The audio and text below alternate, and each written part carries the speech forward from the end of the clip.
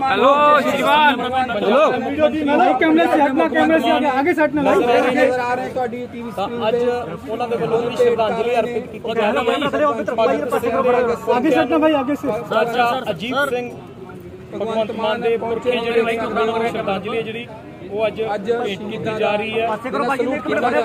ਬੱਲੂ ਜਿਹੜੇ ਨਵਾਂ ਸ਼ਹਿਰ ਤੋਂ ਇਲੈਕਸ਼ਨ ਲੜੇ ਸੀ। ਤੁਹਾਨੂੰ ਦੇਖ ਸਕਦੇ ਹੋ ਸਿੱਧੀ ਹੈਲੋ ਸਰਦਾਰੇ ਤਾਂ ਇਸ ਵਕਤ ਦੀ ਤਸਵੀਰ ਹੈ ਸੁਖਦੇਵ ਸਿੰਘ ਤੇ ਰਾਜਗੁਰੂ। ਭਗਵੰਤ ਮਾਨ ਦੇ ਭਾਈ ਅੱਗੇ ਸੈਟ ਨਾ।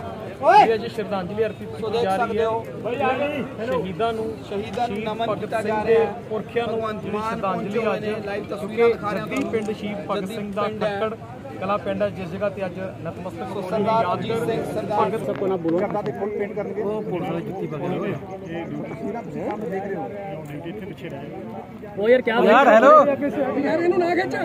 ਉਹ ਯਾਰ ਪਰੇ ਹੈਲੋ ਸਰਦਾਰ ਭਗਵੰਤ ਸਿੰਘ ਮਾਨ ਸ਼ਬਦਾਂ ਦੇ ਫੁੱਲ ਪੇਸ਼ ਕਰਦੇ ਹੋਏ ਭਗਵੰਤ ਮਾਨ ਜੀ। ਦੀ ਪੈਰਾਂ ਨੂੰ ਹੱਥ ਸਲੂਟ ਕਰ ਰਹੇ ਨੇ ਭਗਵੰਤ ਮਾਨ। ਦੇਖ ਰਹੇ ਹੋ ਪੰਜਾਬ ਦੇ ਮੁੱਖ ਮੰਤਰੀ ਭਗਵੰਤ ਮਾਨ ਸਲੂਟ ਕਰ ਰਹੇ ਨੇ ਉਹ ਫੁੱਲ ਪੇਟ ਕਰ ਰਹੇ ਨੇ।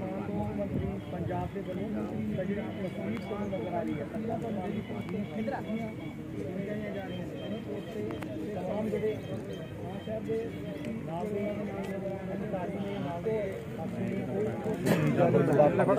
ਕਿ 23 ਮਾਰਚ ਨੂੰ ਮੈਂ ਇੱਕ ਫੋਨ ਨੰਬਰ ਜਾਰੀ ਕਰਾਂਗਾ, ਜਿਹਨੂੰ ਅਸੀਂ ਕਹਾਂਗੇ ਐਂਟੀ ਕਰਪਸ਼ਨ ਐਕਸ਼ਨ ਲਾਈਨ ਯਾਨੀ ਕਿ ਭ੍ਰਿਸ਼ਟਾਚਾਰ ਮੁਕਤ ਕਰਨ ਲਈ ਪੰਜਾਬ ਨੂੰ ਉਹ ਨੰਬਰ ਜਾਰੀ ਕੀਤਾ ਜਾਊਗਾ।